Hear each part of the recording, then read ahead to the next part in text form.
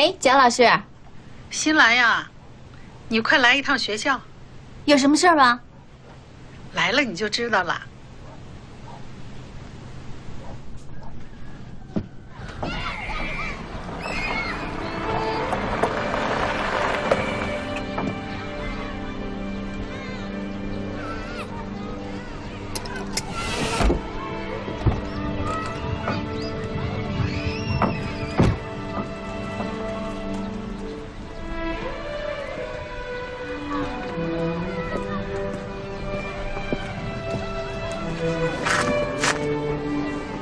不好意思，是我求贾老师给你打电话的。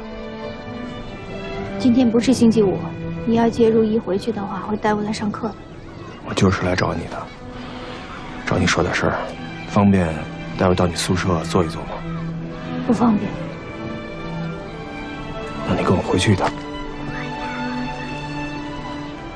回去干什么？办手续吗？也好啊，是应该了结一下了。行，那回去再说。上车吧。我自己开车。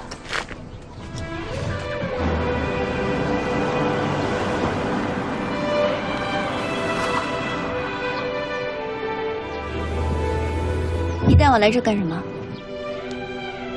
跟我上去一趟吧。我时间很紧，你如果想要办离婚手续的话，抓点紧，我晚上还要赶回去。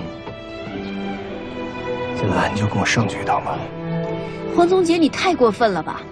大老远的把我骗回来，就是因为霍文静想要见我吗？文静走了，又出国了。那你带我来这里干什么？看看你们俩的新家？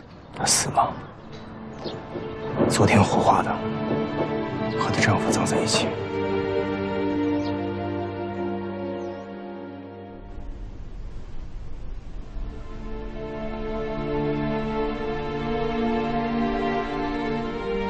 新兰，终于见到你了，阿姨。哎，来，来，